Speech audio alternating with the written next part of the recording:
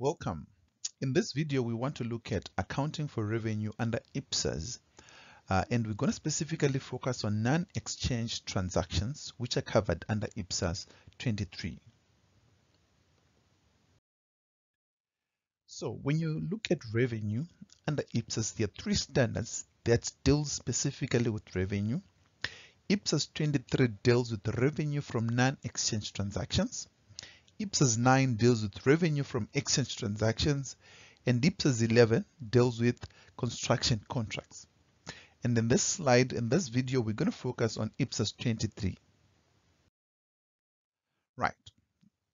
But let's get an understanding. What is revenue? Revenue is gross inflow of economic benefits or service potential, which is received or receivable and should lead to an increase in the net assets or, or equity of an entity. Now, when there are gross inflows that comes into an entity, uh, for the purposes of, uh, of understanding what is revenue, it excludes contributions that comes from owners because when owners contribute in uh, um, uh, cash into the business that can increase net assets, but that's not covered under revenue, as well as amounts collected as an agent where you're collecting on behalf of another entity. Let's talk about the difference between exchange and non-exchange revenue. It's important to understand this because exchange revenue uh, uh applies both to the public and private sector, but it is rare within the private sector to get non-exchange revenue. So when you talk about exchange revenue, an entity receives revenue and gives approximate value in return. Whereas when you're dealing with non-exchange revenue, an entity receives revenue and gives no or less than equal approximate value in return.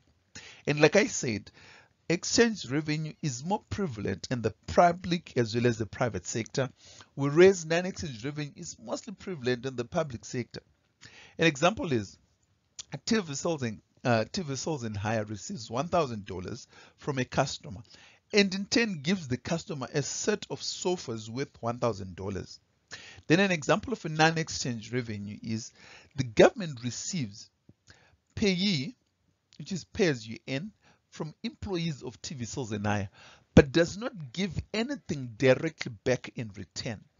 Now, what's important to note is when you look at non-exchange revenue, especially in the public sector, entities can provide a variety of public services to taxpayers, but does not do so in consideration for the payment of taxes.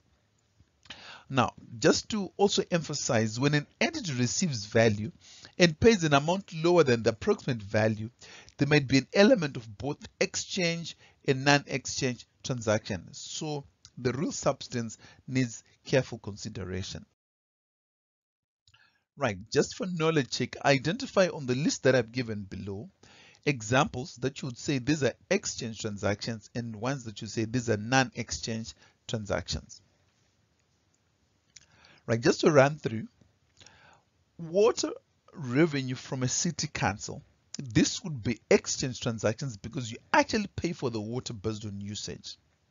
Sewage rates for city council, this would be non-exchange transactions because what it's amount that you're supposed to pay regardless of whether you use the service or you don't use the service. So it is a form of tax.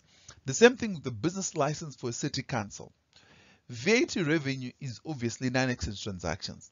A government grant, non-exchange transaction. A fine, non-exchange transaction toll gate fees, non-exchange transactions. It is a form of tax. Electricity charges.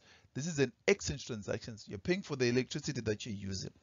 Rental income from uh, from rental of vendor stalls. This would be exchange transactions because you're actually paying for renting out a stall. University fees paid by the government. When you look at this one, it's important to understand whether the university, the fees are market or they're not market. So there could be an element of both exchange or non-exchange. Books donated by the UN to University Library, this is a non-exchange transaction.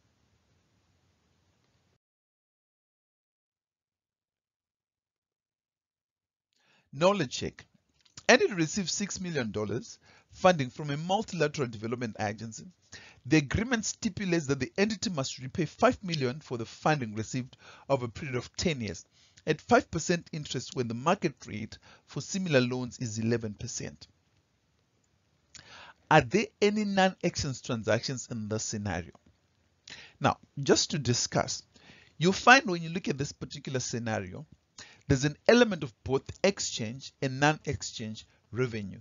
For example, the the one the six five million dollars which is going to be repaid back that is an exchange transactions the one million dollars which is the difference that becomes a donation that becomes a non-exchange transaction. Again the rate of the loan at 11 percent that becomes the exchange transactions. And the interest which is the difference between 5 and 11 which is 6 percent which is not repaid becomes a donation and that becomes our non-exchange revenue in this case Let's talk about recognition of, of revenue.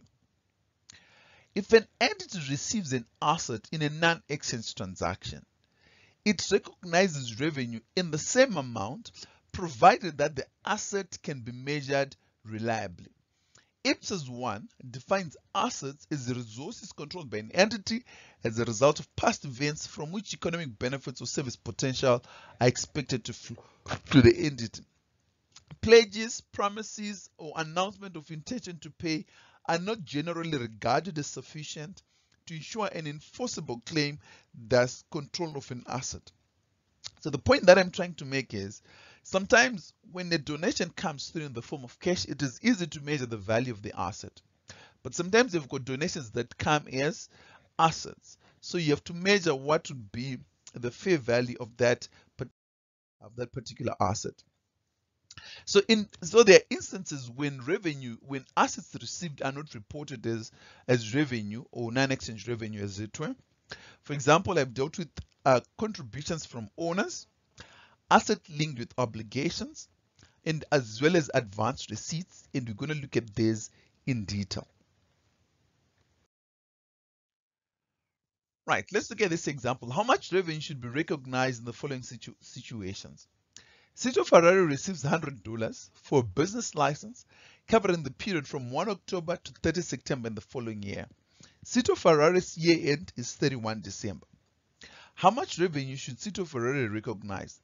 In this case, the full $100 should be recognized uh, in the in the month in which it is received. There is no need for you to spread this revenue over a period of one year because Cito Ferrari is not providing any service. This is a form of tax which is due on the first month, uh, on the first day of each month, uh, the first of October rather, and therefore full revenue should be recognized. Second question, Ngezi Clinic receives on 29 December a grant of 50,000 to complete the maternity ward. In this case, no revenue should be recognized because it is linked to an obligation they have to construct a maternity ward to the extent to which the ward has not been constructed, no revenue should be recognized. Minister of Finance gave $20 million to PSB so that they can meet their regulatory capital requirements. This is an injection from the owners and should not be regarded as revenue.